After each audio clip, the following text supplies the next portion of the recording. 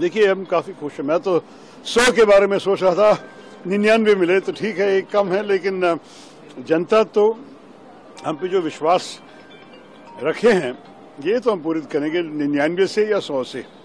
हाँ सर प्रधानमंत्री मोदी की शपथ डेट आ गई है आठ जून को बताया जा रहा है कि शपथ लेने हैं।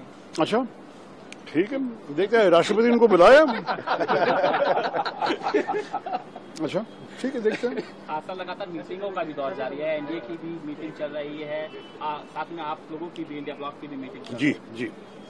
नेचुरली रिज़ल्ट आने के बाद लोग को मिलना पड़ेगा आपस में। तो ये अच्छी बात है ये हो रही। इंडिया अलायंस के सारे नेता मेरे ख्याल में आज आए हैं।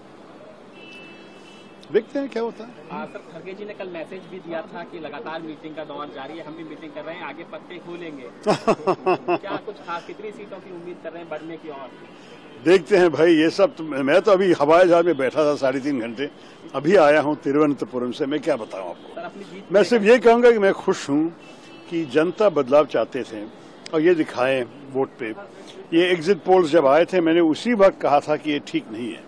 कि जो वो लोग कह रहे हैं कि बिल्कुल जमीनी हकीकत देखने के बाद हम कभी भी इस पर भरोसा नहीं रख सकते हैं कि इस किस्म के आंकड़े आएँगे।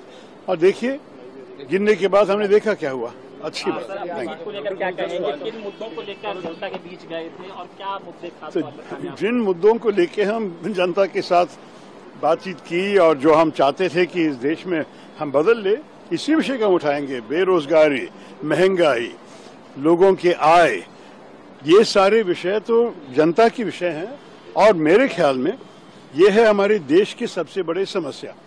अगर प्रधानमंत्री और सरकार हमारी नहीं है और वो लोग कुछ करना चाहते हैं तो इन विषयों को बिल्कुल उनको फोकस करना ही पड़ेगा। इसलिए तो हम है विपक्ष में।